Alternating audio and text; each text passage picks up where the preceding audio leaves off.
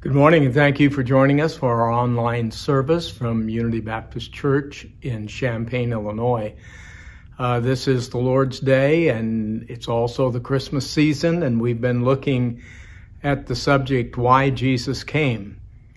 And uh, most people, I think, would probably say that Jesus came to die, uh, to die for our sins, and that's true. But the thing that things that we celebrate about the life of Christ uh, commemorate his birth, which was important, his virgin birth, and his death, burial, and resurrection. And what I, I want us to remember is, is that between those two events that we celebrate every year at Christmas and at Easter time, between those two things, Jesus Christ lived a life. And what he did not do in the 33 and a half years that he walked upon this earth was sit around for 33 and a half years, twiddling his thumbs and waiting uh, for the inevitable death that he was going to die for us. Jesus Christ lived a purposeful life and and things took place. He accomplished things between those two very important events that we celebrate. But he accomplished other things along the way. And the Bible talks about those things. And we don't celebrate them in the sense that we have uh, particular days that we set aside to celebrate these things. And for the most part, they are kind of lost on us. Uh, not not in the sense that that we don't know about them, but they're lost on us in the sense of any any sense of celebration of them, and yet they are very, very important things. They are vital to you and to me. And the first two that we first one that we talked about was that he came to reveal the Father, and and in revealing the Father, we found that we could enjoy the Father's fellowship uh, his comfort. We could enjoy his power in our lives, all of those things. And these were things that the Jewish people really weren't that aware of. And, and to some extent, people today are not aware of those things. And so that was the first thing that I wanted to talk about this Christmas season. And the second thing is today. It's taken out of 1 John chapter 3 and verse number 5 and we talk about why Jesus came. He came to take away sins. Now that verse, for excuse me, First John chapter 3 and verse number 5 says this. And you know that he was manifested, or he he came to this earth and tabernacled among us. He was born, however you want to put it. We know that he was manifested to take away our sins, and in him was no sin. So we're going to talk about that for just a few minutes today. Jesus came to this earth to take away sins. The marvel of the Christmas celebration is the miracle of redemption. The birth of Christ was not an end. Uh, it was the, a part of a process that would culminate ultimately in the purchase of our redemption. He was born in order that you and I might be reborn, born again.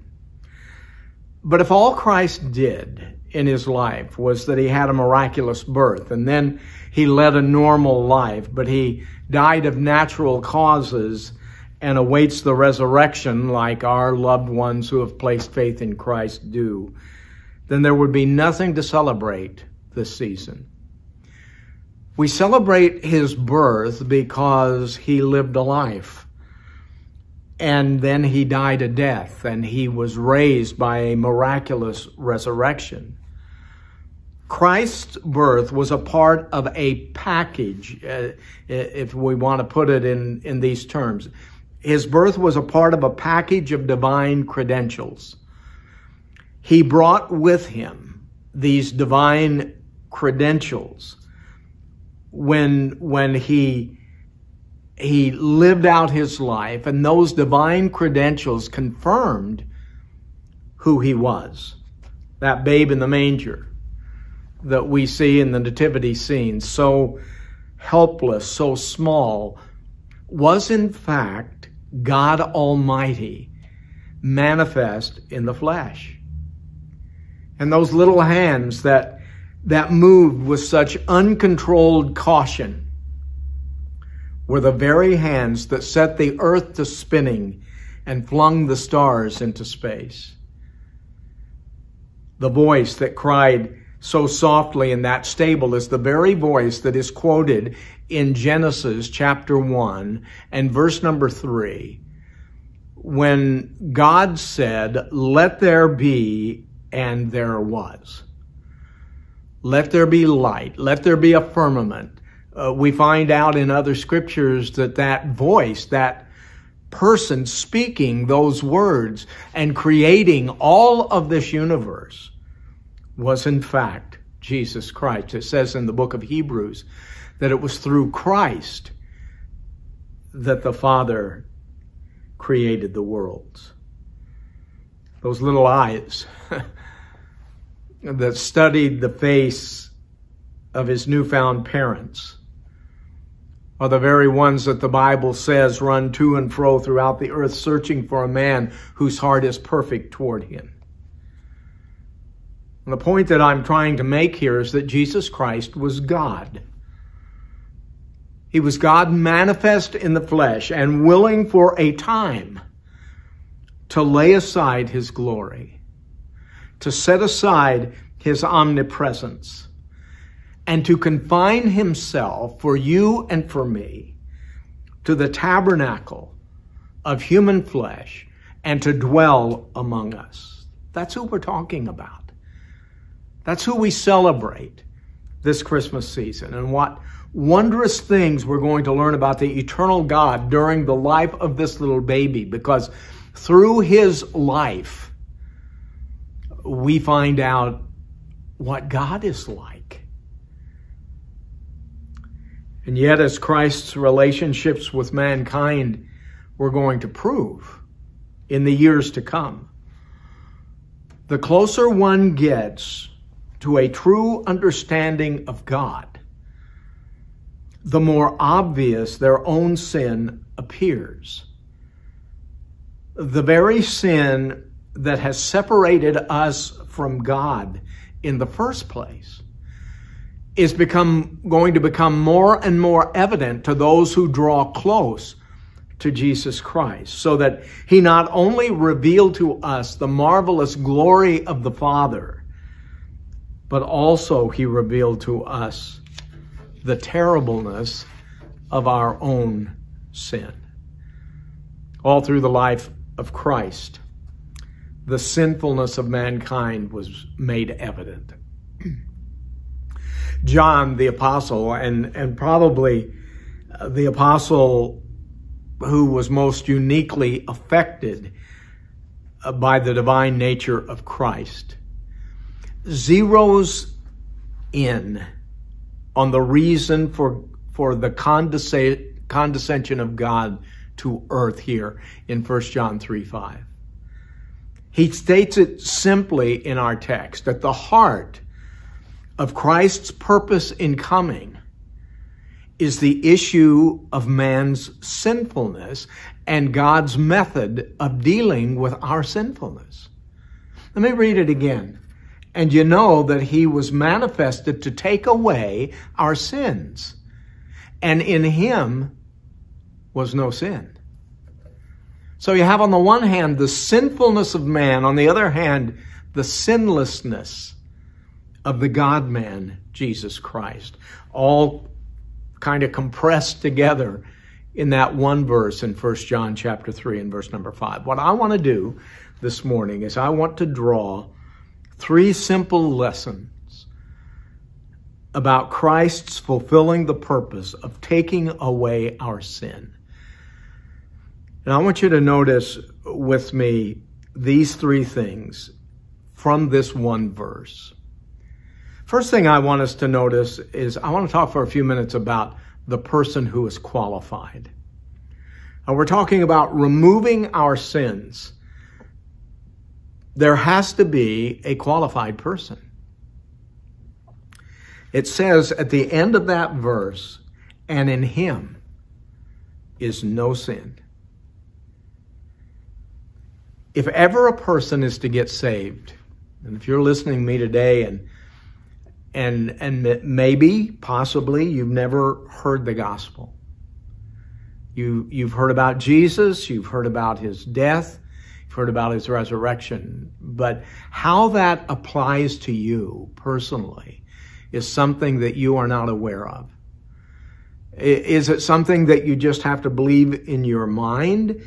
Uh, you know, you just acknowledge the the history of it, that it actually happened, and all of that. Is that what it means, or is there something deeper that that you need to know and that I need to know about these events if they are going to be applied to our life? Well, I think there is, and if ever a person is going to get saved, there are a couple of things that it is essential for them to understand. First of all, they have to understand their own sinfulness. All of us are sinners. There is no person who has ever walked the face of the earth outside of Jesus Christ himself who is without sin. We sin in thought, we sin in word, in deed, in motive. We sin in a variety of ways. We are filled with sin. We are born as sinners, and we take to sin quite naturally. We have to understand our own sinfulness. And secondly, if we're going to be saved, we have to understand Christ's divine purity. That Jesus Christ did no sin ever in any way.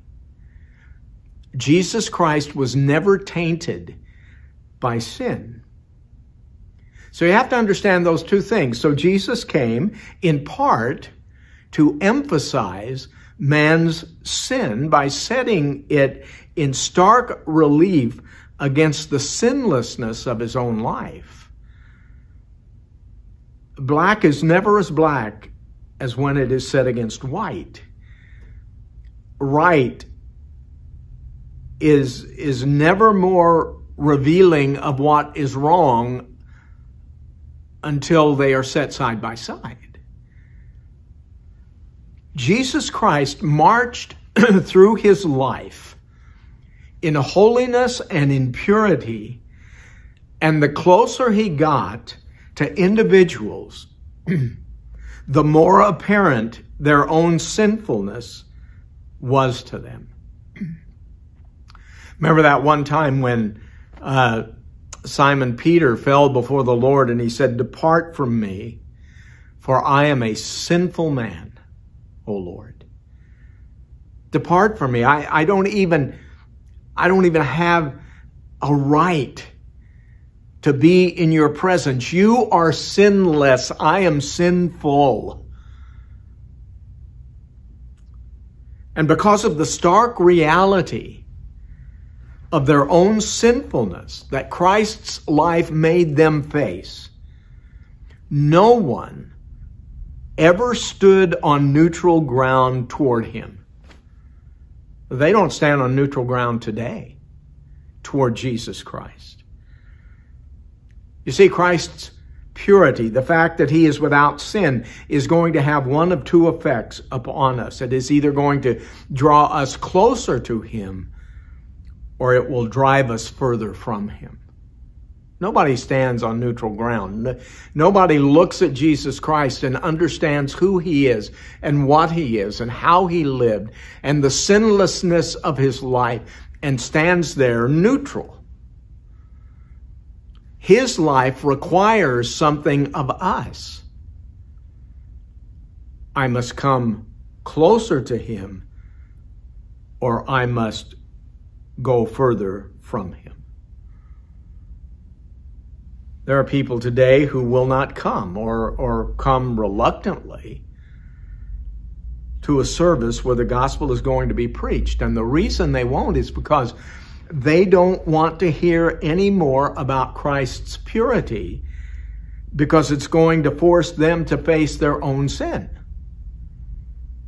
And before any person can ever come to faith in Jesus Christ, I mean, I, I, know it seems like a contradiction. I know it seems like something that doesn't make a whole lot of sense, but it has, uh, you have to understand that it is the truth. Before we can come and receive the forgiveness of Christ, we have to understand the sinfulness of our own sin.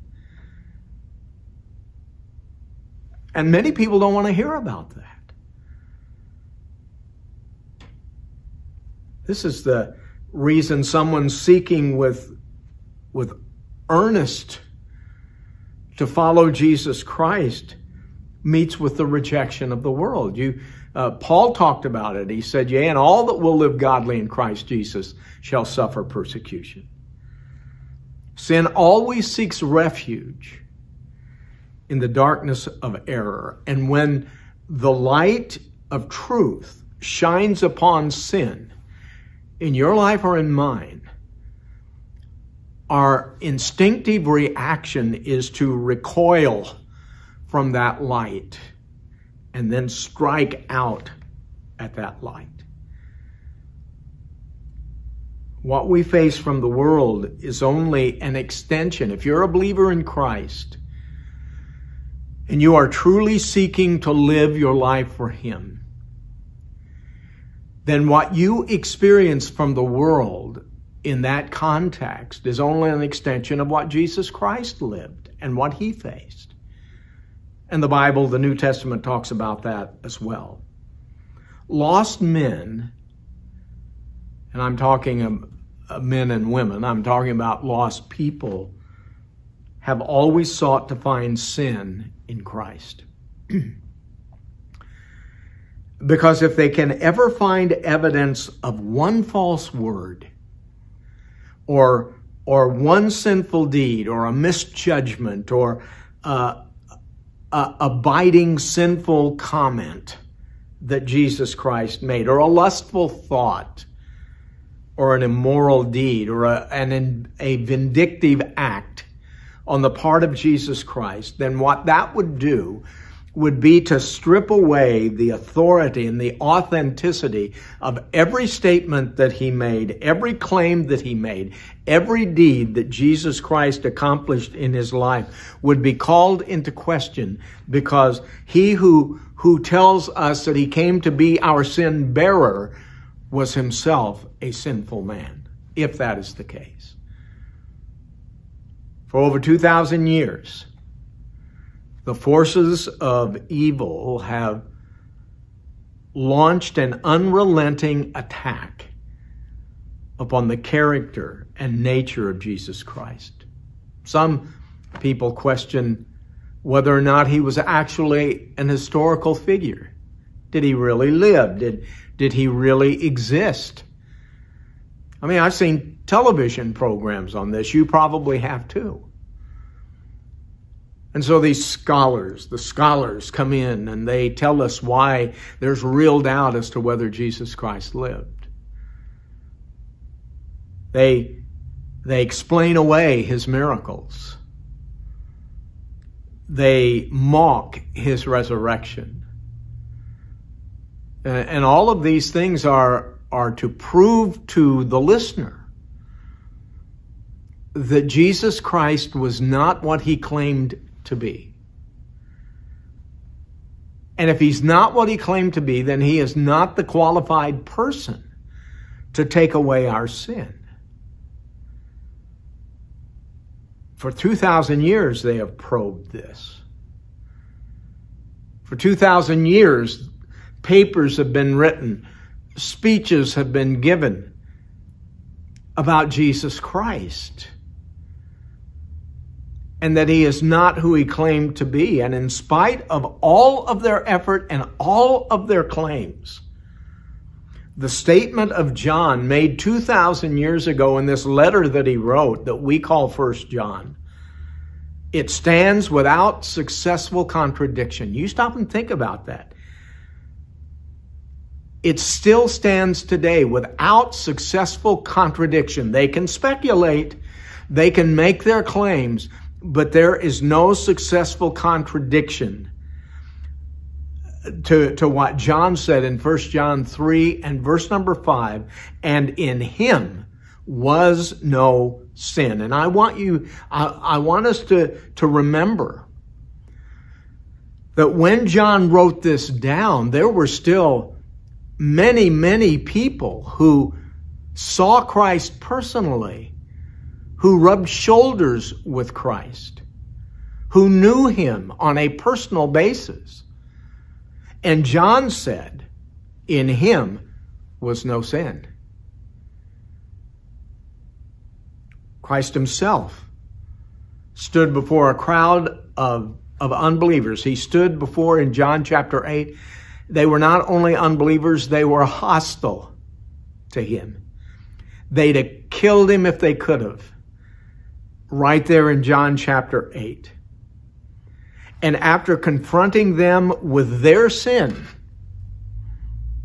Jesus Christ laid down this challenge in John chapter 8 and verse number 46.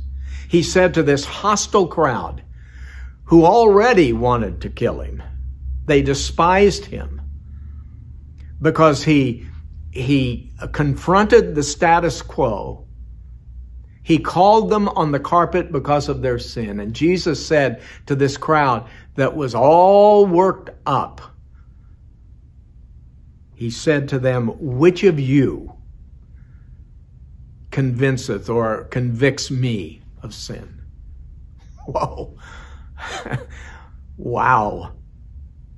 What a challenge.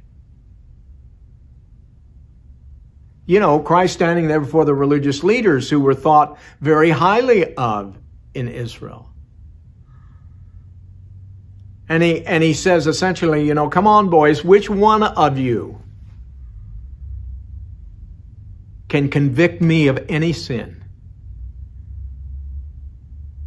That is either unbelievable arrogance or divine confidence. And you and I have to decide which it is in our own mind. Is Jesus Christ telling the truth? You can't convict me of, skin, of sin. And in spite of their, their hatred for him, and in spite of, of the hostility they had toward him because of the message that he preached, because, and, and, and the anger they had toward him at the audacity to confront them with their own sin. And and from their standpoint the the absolute arrogance of making such a challenge. In spite of all of that, with the air filled with hatred and hostility toward him, not one person in that hostile, hate filled mob could step forward with evidence of one sin that Christ had committed. That's an amazing thing. Because Jesus wasn't hiding away. He wasn't some mealy mouthed uh, uh, preacher or prophet. Can you imagine which one of you hate filled people can stand forward in this crowd and convict me of sin? Which one of you saw me sin? Which one of you have heard me in my speech sin? Nobody. You know, it'd be one thing if it was a hundred years removed from when Jesus lived. For somebody to stand up and say he was without sin. It, would be something if it were a thousand years after he walked this earth. But this was at the very time when the hostilities in Israel were, were beginning to boil over. These are in the last days of his life when ultimately the mob was going to take him and kill him. And he lays down this challenge. How many of us would dare lay down that challenge today? To say, even to our friends, those who support us. Anybody here uh, ever seen me sin? we're not going to do it because there'd be too many hands raised. Jesus Christ was supremely qualified to deal with our sin because he wasn't blinded by sin. He was not hindered by sin. And the reason he was not is because he had no sin. He was a sinless human being. So that Christ today, for you and for me, is the measuring stick by which God measures all men. Now, some who may listen today uh, can can point to someone who calls themselves a Christian or or some preacher who preaches what you ought to do but doesn't do it himself. Or point to somebody who claims to be a Christian who will steal you blind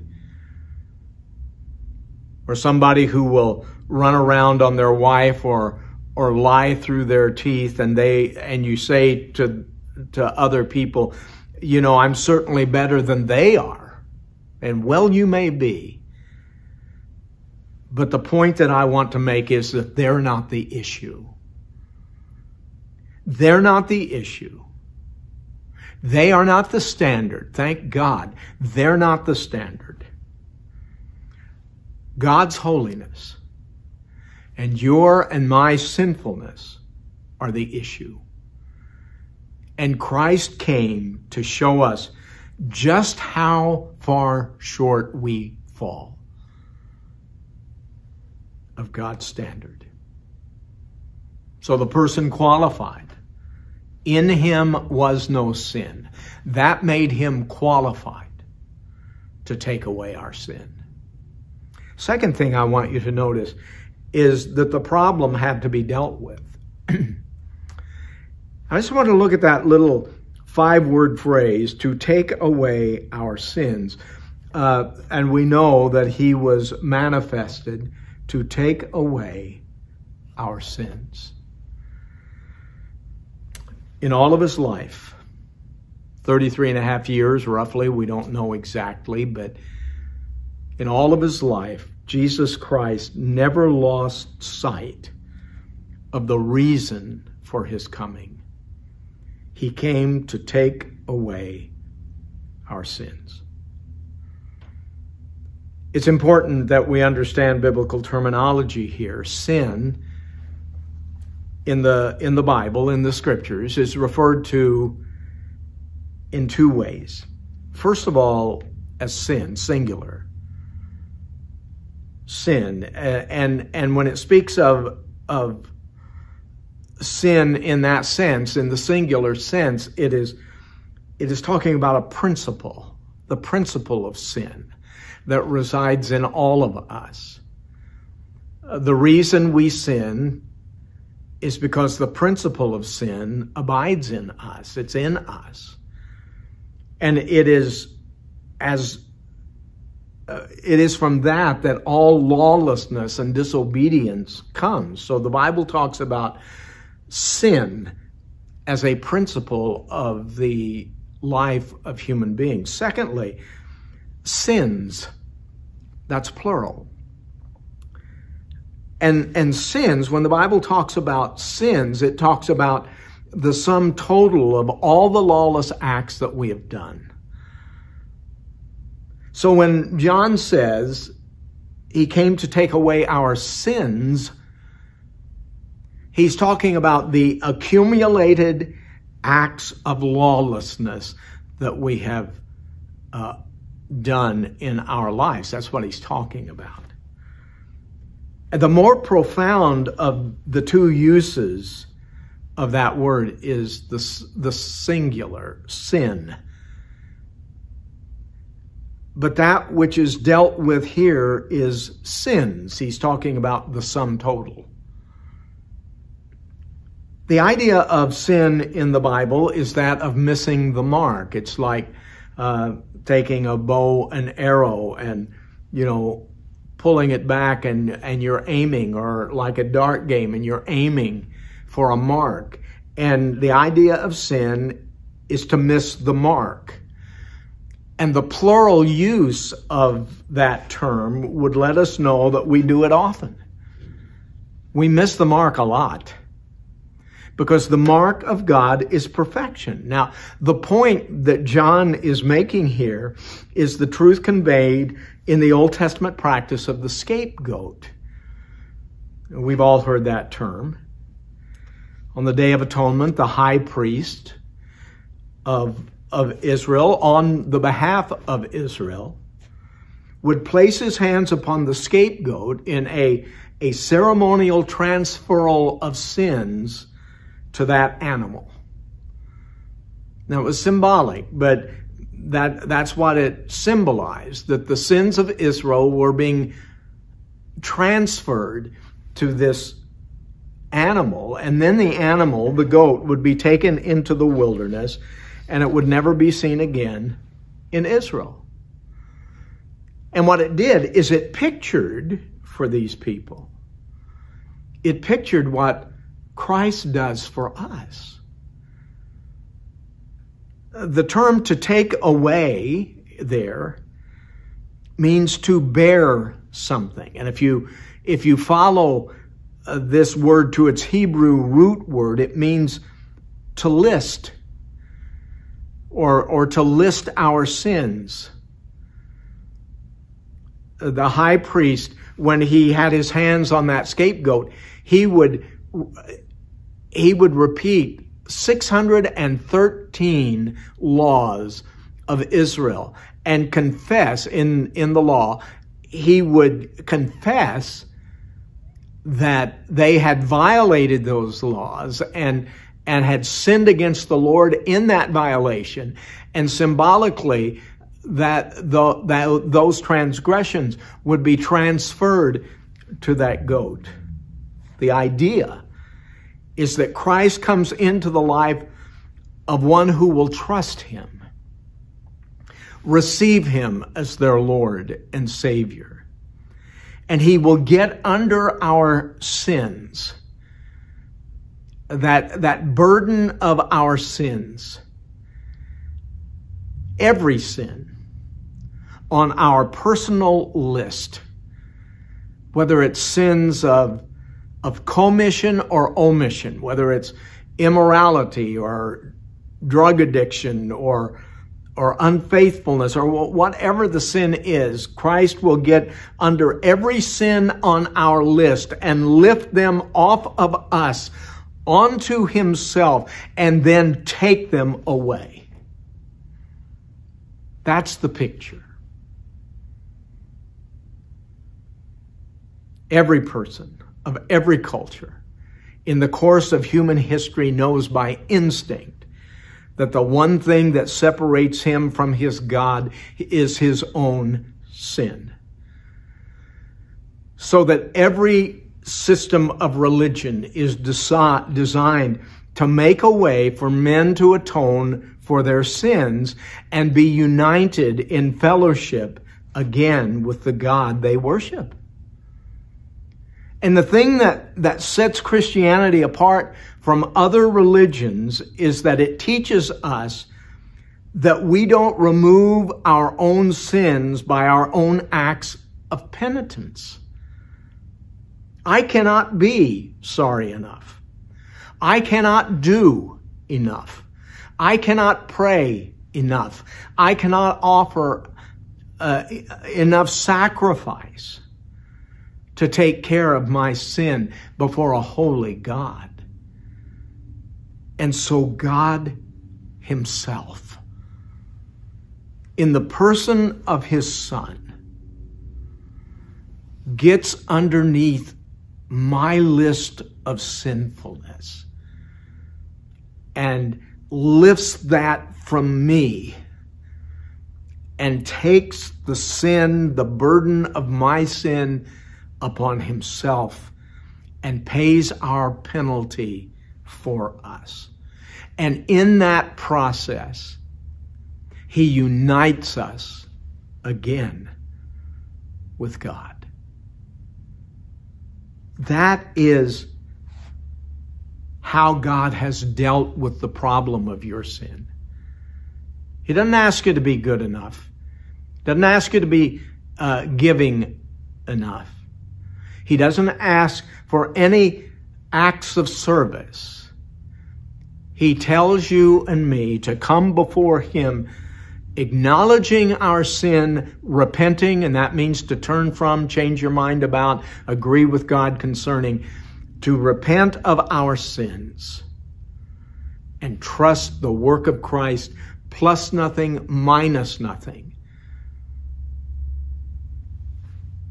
as the means whereby God will forgive those sins and receive you into his family.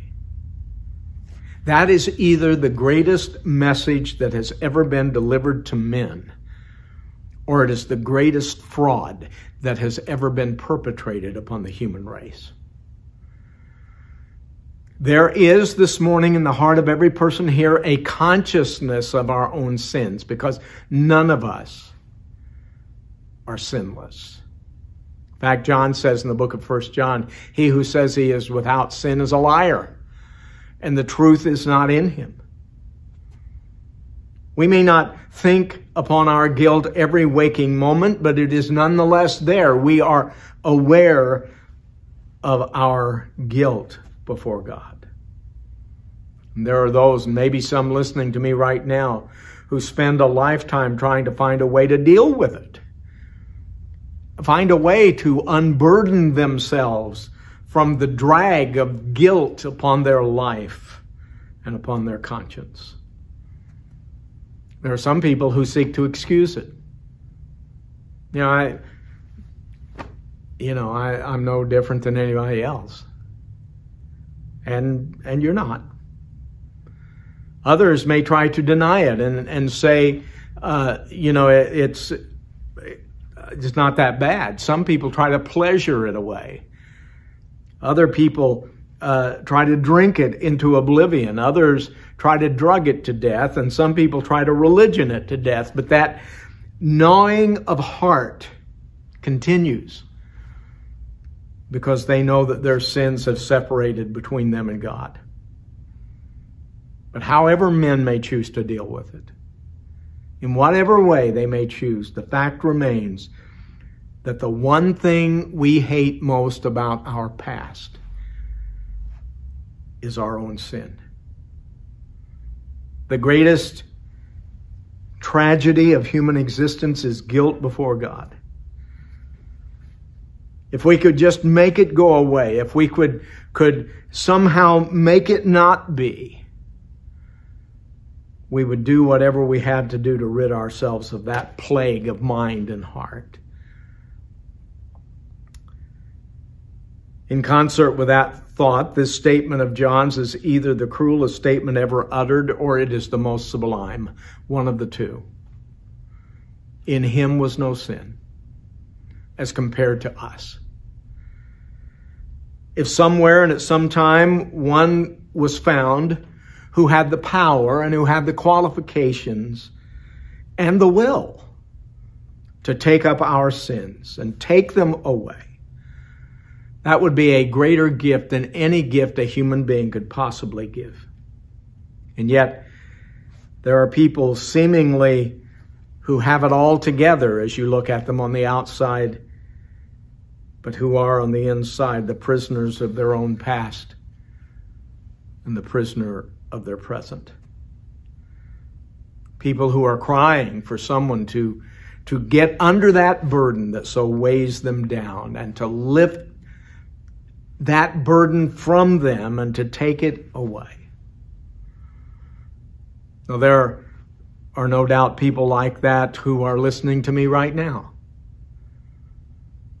You may be a teenager just starting out and, and you are pulled by every pressure to conform and, and by George, you've tried to conform, but you're now aware of the guilt that must be dealt with after it.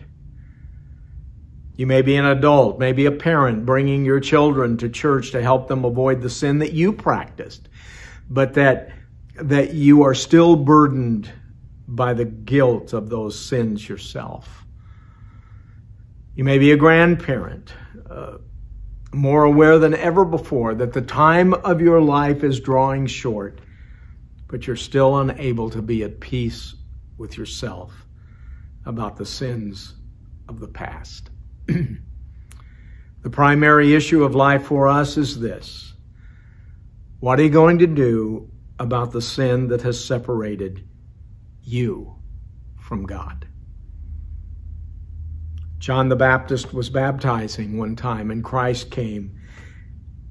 And, and John the Baptist said, Behold, the Lamb of God that taketh away the sin of the world. How's God going to deal with it? He dealt with it through Christ. Not through you, through Christ. One last thing, and very briefly, the purpose is stated and you know that he was manifested. In the clearest terms, Christ's purpose for coming in relation to our sins is stated. He came to bear them away. Every person listening to me today is going to deal with your sin in one way or the other. You're going to deal with it your way and and you're going to do that by default. if you do nothing about them, then it's by default. You're going to deal with them your way, or you're going to deal with them God's way, and that's by our choice. God has provided a way. Said, You know that He was manifested to take away our sins, and in Him is no sin. The bottom line is, which way are you going to choose? I pray today that you'll choose Christ, Him alone, without religion, uh, without ceremony, just Him. Because in Him was no sin. He was qualified, He was the person designated to deal with your sin, because in Him there was none. Father, I pray today that you'll bless this message, that you'll use it in the lives of those who've heard, that we will understand the purpose of your coming, and that that purpose might be fulfilled in us. We ask in Jesus' name. Amen. Thank you for joining us today. God bless you, and have a great day.